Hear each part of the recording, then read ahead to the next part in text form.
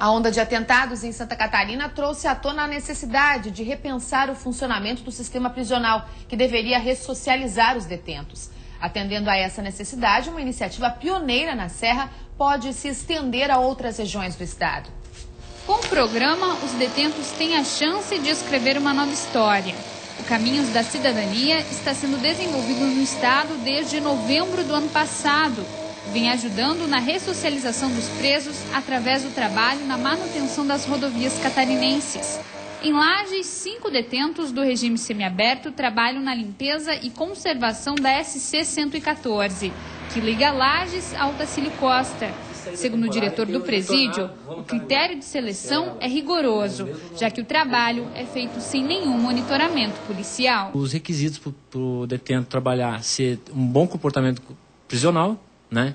Tá no final da pena e já ter gozado da saída temporária, essa saída temporária de sete dias, né? E ter retornado dela sem nenhum problema. Além disso, o preso reduz um dia da pena a cada três trabalhados e recebe um salário mínimo por mês. É o caso de Juliano, que foi para o presídio acusado de assalto. Faltando oito meses para terminar de cumprir a pena, ele conta que o trabalho devolve a dignidade para quem havia perdido no mundo do crime. É uma chance, né, para melhorar, daí sair para a rua não faz mais crime.